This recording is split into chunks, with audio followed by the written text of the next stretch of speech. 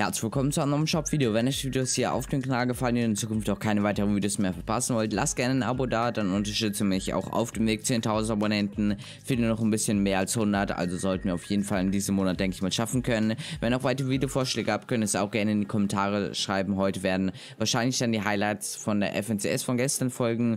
Lief auf jeden Fall um einiges besser als am ersten Tag.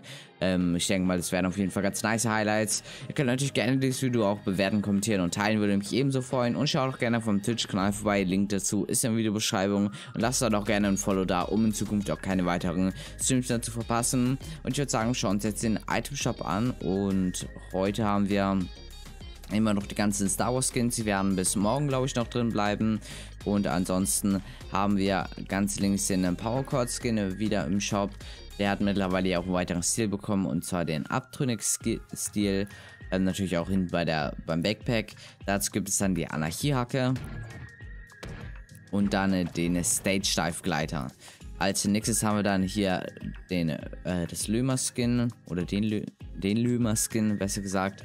Ähm, hier hat man einmal die Variante Reaktiv, dann einmal das Neon-Lame und der Neon-Löwe. Bei der reaktiven Variante ist es eben halt so, dass, glaube ich, auf der Spitzhacke immer das Neon-Lama ist und wenn man dann auf die Waffe wechselt, wechselt der zum Neon-Löwen-Skin.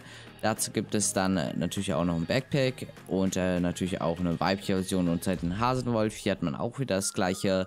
Auf der Spitzhacke ist dann der Neonhase und auf der Waffe ist dann der Neonwolf. Und ähm, dann gibt es dazu natürlich auch noch die, äh, die Neon-Tier-Lackierung. Sieht auch auf jeden Fall auch ganz nice aus. Als nächstes haben wir dann den äh, Zorkoton-Skin im Reisenden-Paket für 1200 V-Bucks, einen blauen Skin und eine Spitzhacke. Ist auf jeden Fall vollkommen in Ordnung. Hier hat man auch noch eine dunkle Variante bei dem Skin. Und dazu gibt es dann noch den Team Weltall-Emote. Als nächstes haben wir dann noch den Meister Minotaurus, dann den Wildwinkler als Spitzhacke, dann den Gute Laune Gang Emote. Dann haben wir als nächstes noch den Rio Grande Skin, war glaube ich auch schon relativ lange hier im Shop. Einmal hier natürlich auch mit dem Stil mit äh, Kopfbedeckung und ohne Kopfbedeckung. Gibt ja mittlerweile sehr, sehr viele Skins, wo das möglich ist. Dann haben wir zunächst den Wirbelwind-Emote. War, glaube ich, auch schon sehr, sehr lange nicht mehr im Shop. Dann haben wir noch die Punktetafel. Hier wird eben halt random eine Zahl von 0 bis 10, glaube ich, gezeigt. Ja, genau. Und äh, dann haben wir als nächstes natürlich noch die ganzen Star Wars Skins. Hier kann man entweder einmal zwei Pakete kaufen, einmal das Sternjäger-Paket oder das Ordnung und Frieden-Paket, einmal mit Spitzhacken und dann mit den, äh, mit den Gleitern. Allerdings kann man natürlich auch alles einzeln kaufen. Hier haben wir einmal den Kylo Ren Skin.